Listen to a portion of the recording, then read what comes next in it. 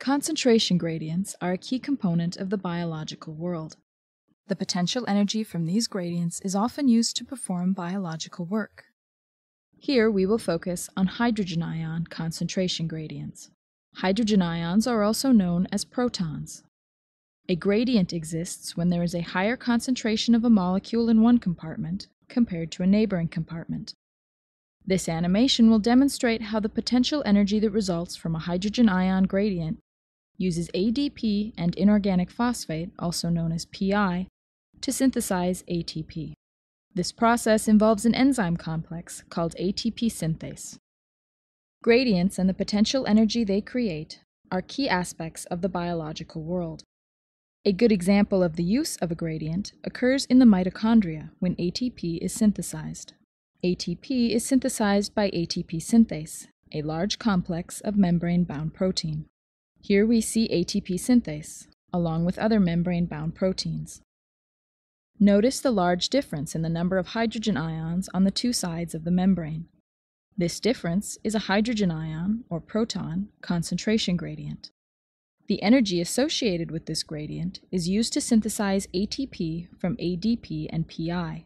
This occurs at the ATP synthase complex. One hydrogen ion enters the ATP synthase complex from the intermembrane space, and a second hydrogen ion leaves it on the matrix space. The upper part of the ATP synthase complex rotates when a new hydrogen ion enters.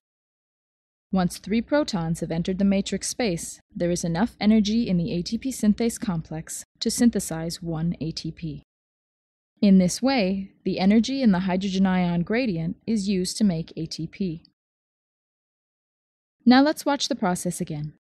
Notice how the proton enters the ATP synthase and exits into the matrix space. Once three more hydrogen ions have crossed the membrane, another molecule of ATP will be made. In this example, the hydrogen ion gradient is large enough to produce six ATP molecules. Please watch as the remaining ATP molecules are synthesized.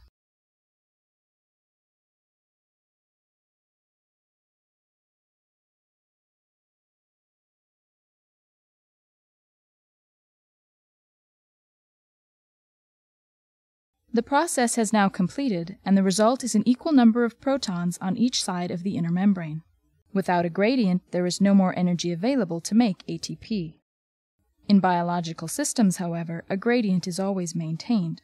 The mitochondrial hydrogen ion gradient is generated as electrons pass through three membrane complexes. That process can be seen in the mitochondrial electron transport chain animation.